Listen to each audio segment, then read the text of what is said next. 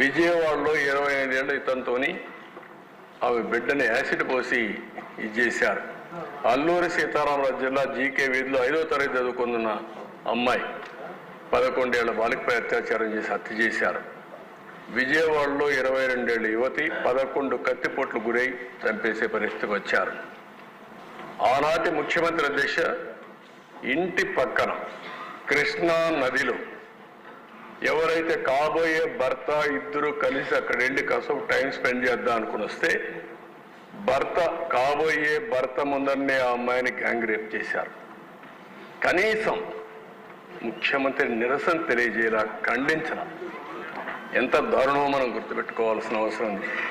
గుంటూరులో ఒక మహిళ భర్త కళ్ళ ముందరిని అతన్ని పట్టి కట్టేసి నలుగురు సామూహిక మానభంగం చేశారు.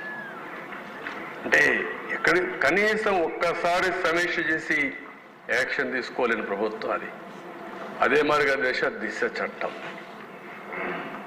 లేని చట్టాన్ని ఉన్నట్టు నమ్మించే ప్రయత్నం చేశారు. ఏదైనా చట్టాలు చేసేది ఎప్పుడు కూడా మనం ఈ చట్ ఈ హౌస్లో చట్టం చేసిన తర్వాత దానికి గవర్నర్ కన్సెంట్ ఇచ్చిన తర్వాతనే అది అమల్లోకి వస్తుంది. అట్లా కాకపోతే మనం చట్టం చేసి పంపిస్తేనే అది కాదు. ఈరోజు దిశ చట్టం ఉంది. గవర్నమెంట్ ఆఫ్ ఇండియా ఉంది.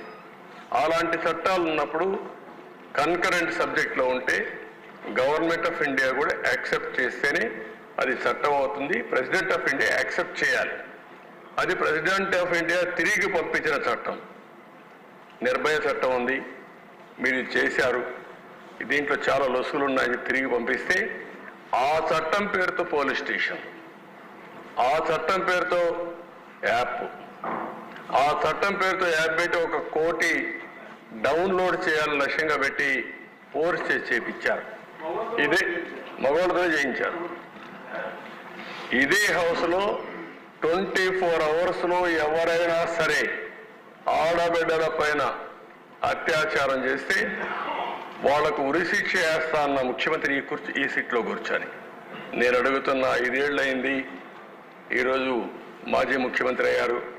ఒక్కరిపైన చర్య తీసుకున్నారా సమాధానం చెప్పమని ఆనాటి ముఖ్యమంత్రిని క్వశ్చన్ చేస్తున్న దిశ నేను ఈ విషయాలు ఆయన ఉండుంటే మొత్తం అతనికి కనీసం రియలైజేషన్ రావాలనుకున్నా వస్తుందో తెలియదు కానీ వాస్తవాలు ఆలోచించుకునే పరిస్థితి వచ్చేది. నెక్స్ట్. అధ్యక్ష ఎస్సీ ఎస్టీల పైన దౌడలు మీరు చూస్తే ఎస్సీల పైన పదివేల మూడు వందల డెబ్బై ఏడు క్రైమ్స్ జరిగాయి. ఎస్టీల పైన పదిహేడు వందల అరవై ఎనిమిది నూట తొంభై రెండు ఎనభై యాభై ఎనిమిది మంది చనిపోయారు. కిడ్నాపింగ్స్ కిడ్నాప్స్ పెరిగాయి. హర్ట్ కేసు పెరిగాయి.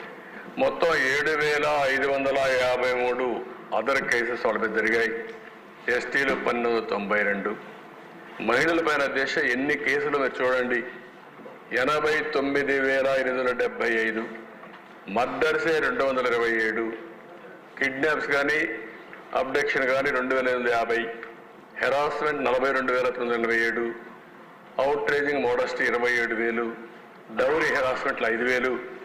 ఎప్పుడు పవన్ కళ్యాణ్ గారు చెప్తా ఉంటారు. ముప్పై వేల మంది మహిళలు ఈ రాష్ట్రం నుంచి మిస్ అయ్యారు. ఆ మిస్సింగ్ కేసెస్ ఉన్నాయని. అవి అదనంగా ఉండే పరిస్థితి వస్తూ ఉంది. ఇలాంటివి చాలా దారుణాలు జరిగాయి. నెక్స్ట్ ఎన్సీఆర్బీలో నెంబర్ వన్ ఉన్నాం ఇవి ప్యాథటిక్ ఇష్యూస్ నేను అడుగుతున్న లా అండ్ ఆర్డర్ మీరు అందరూ కూడా ఆలోచించుకోవాలి. ఆ రైల్వే ట్రాక్ చూసిన తర్వాత.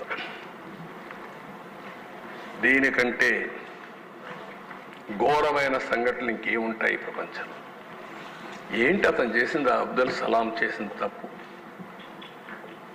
దొంగతనం చేశాడని ఒక నెపం వేసి వేధించి వేధించి ఇంకా బతకలేమనే పరిస్థితికి వచ్చి పిల్లల్ని కట్టేసి రైల్వే ట్రాక్కి భార్యని రైల్వే ట్రాక్ కట్టేసి ఆత్మహత్య చేసుకున్నాడు. బలవంతపు మరణానికి కూడా ఒక హద్దు ఉంటుంది.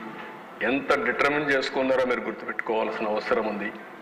అలాంటి ఘోరాతి ఘోరాలు జరిగాయి ఈ రాష్ట్రంలో. పల్నాడు జిల్లాలో.